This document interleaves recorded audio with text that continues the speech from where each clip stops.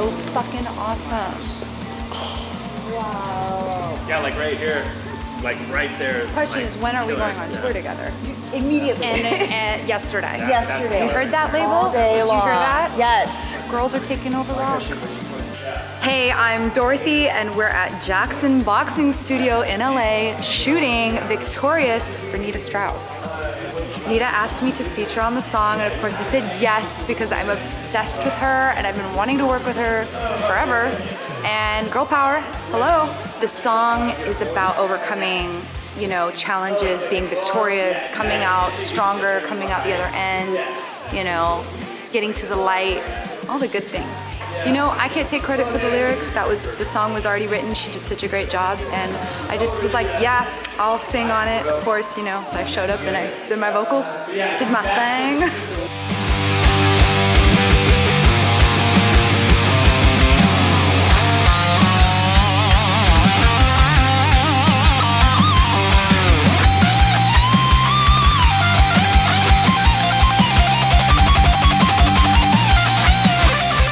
What's your name?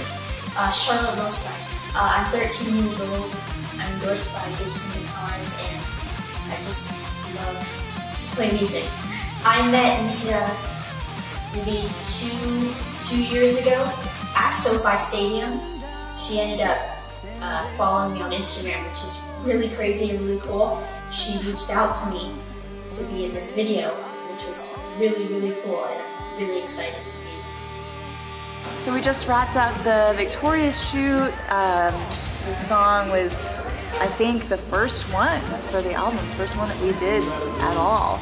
Um, so to have it be, you know, the next single from the record, Dorothy absolutely just knocked out of the park with her delivery, her performance today, everything. So couldn't be more happy. A pleasure to work with. She knocked out of the park when we sent her the song and came back. She, just had its own identity and she just brought it just to the next level. Having her in person in the video was great. Her energy's awesome and I can't wait for everybody uh, to hear this and the reaction it gets from it. I'm Mikaela Mayer. I am a 2016 Olympian, former world champion, currently competing in the lightweight division.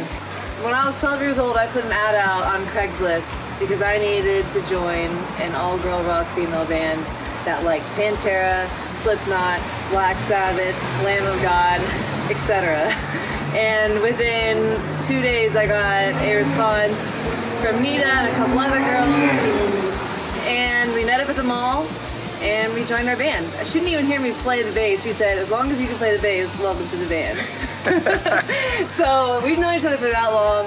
Um, obviously, Leah Fail, which is our band name, uh, didn't didn't last, but I fell off from from the music world. Obviously, fell into boxing, and Nita stayed on the path. I always knew she would. I always knew out of all of us that she'd be the one to really make it in the music industry. Um, and so for us to kind of come together at this point in our careers where we both are successful and doing our thing uh, is super fun. So filming this video for her was an awesome experience and hope you guys all enjoy it.